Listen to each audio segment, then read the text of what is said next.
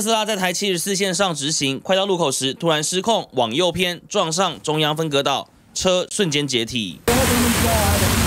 特斯拉车体全毁，驾驶跟乘客两个人当场飞出车外，失去生命迹象。警校获报到场，马上将两人固定在担架上送医抢救，无奈伤势严重，宣告不治。事发现场，特斯拉车身对折，车顶不见了，座椅外露，完全看不出原本的车型，零件四散各地。检警追查后，发现是酒驾闯祸。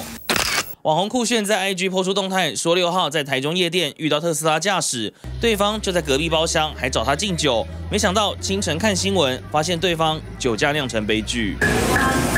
特斯拉驾驶是二十五岁阳性男子，警方说他酒测值零点六一，生前是豪宅设计师总监，家属七号傍晚到殡仪馆不发抑郁。乘客是二十四岁红姓男子，警方验出他的酒测值是零点三二，车上两个人都有喝酒，最后是看安全带勒痕才找出谁是驾驶。该车为哦自撞，两名伤者均送医，均已宣告死亡哦。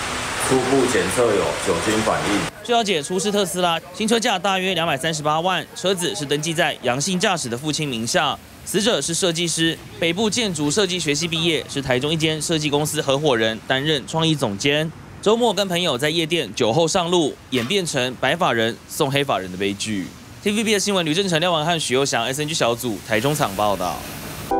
想看最完整的新闻内容，记得下载 TVBS 新闻网 APP。